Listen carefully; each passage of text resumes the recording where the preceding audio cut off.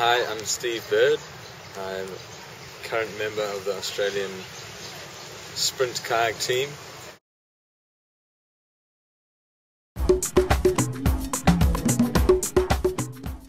About to do our last session in the water today, hard session at least, um, in the K2. Goals are um, week by week at the moment, and my first goal is to win the Australian selection for K2 200 metres. When is that? That's on August 4, What time? 9:30 p- uh, a.m., which is 12 uh, 3:30 here in Perth.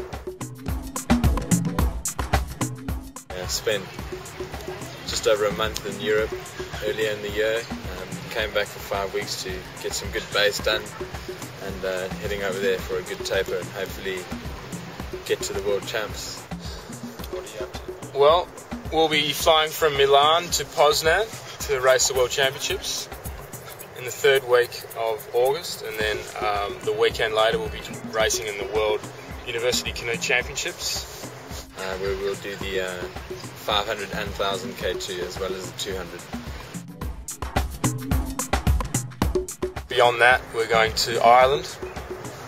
Uh, I believe you're coming along with me, uh, unfortunately, um, to race an international Liffey descent race. Uh, we look forward to going to the UK. I've never been to the UK, so it's a, it's a new experience for me.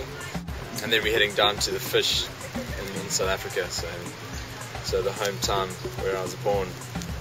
And uh, show Jess around, show him the sights, show him the cultures. He'll love that. Fish is a two-day race down in South Africa. Lots of rapids, cold water, and then we're back to Perth and probably have not a very long break actually, and, and straight back into into the into the 2011 season. Both uh, championships will be looking to place in the top five, certainly in the medals at the university championships.